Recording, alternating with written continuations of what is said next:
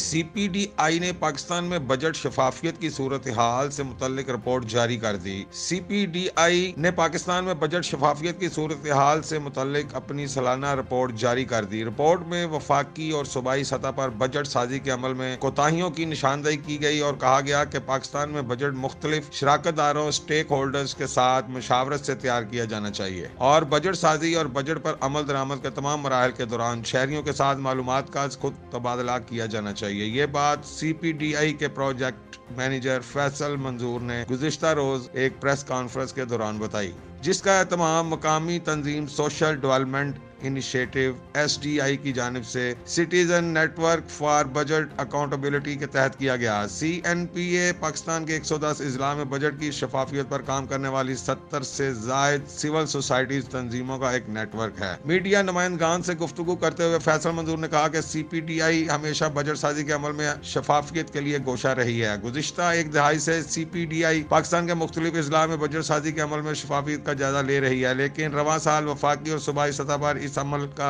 जायजा लिया गया है। ये रिपोर्ट न सिर्फ़ पाकिस्तान में बजट शफाफियत की सूरत हाल का जायजा लेगी, बल्कि इससे ये अंदाज़ा लगाने में भी मदद मिलेगी कि पाकिस्तान में मालूम तक रसाई का हक बजट से मुतल मालूम के असूल में किस हद तक मौसर है। रिपोर्ट के नतज की वजाहत करते हुए उन्होंने बताया की ये रिपोर्ट दो हिस्सों पर मुश्तमिल है। पहला हिस्सा मुख्तलिफ़ वफाकी वजारतों और सूबाई महकमों को मालूम के असूल के लिए अरसाल करदा दरख्वास्तों से मुतल है, जिसमें बजट साजी के अमल के दौरान मुख्तलिफ़ मराहल के बारे में मालूम तलब की गई। इस सिलसिले में बजट साजी के अमल में शफाफियत को जांचने के लिए मुंतब वफाकी वजारतों और सूबाई महकमों को मालूम के हसूल की एक सौ पचास दरख्वास्तें भिजवाई गई। वफाक को और साल करदा छत्तीस दरख्वास्तों में से छह के जवाब मसूल हुए और चारों सूबों के मुख्तलिफ़ महकमों को अरसाल करदा एक सौ चौदह दरख्वास्तों में से खैबर पख्तूनख्वा से सिर्फ़ दो और पंजाब से चार जवाब मसूल हुए, जबकि बलोचिस्तान और सिंध में मालूम की किसी भी दरख्वास्त पर कोई कार्रवाई नहीं की गई। दूसरे हिस्से में बजट दस्तावेजात की जामियत और बजट साजी में शहरियों की शिरकत का जायजा लिया गया। यहाँ वफाकी हुकूमत कुल एक सौ इक्यासी पॉइंट में से